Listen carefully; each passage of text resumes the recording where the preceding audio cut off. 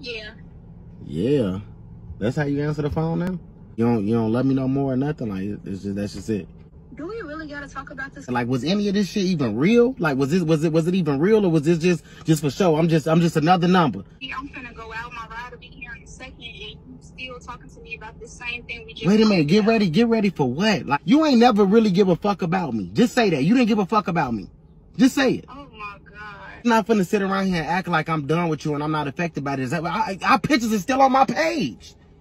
And you can take them down. I don't want to take them down. It's crazy how we just broke up. You can go and delete all our pictures, and now you going out. You fucking happy, and I'm sad. Did you even mean it when you told me you love me? I don't even know why I'm acting surprised. I should have just paid attention to the signs. What signs are those? Did that you was a hoe? Hello. Hello?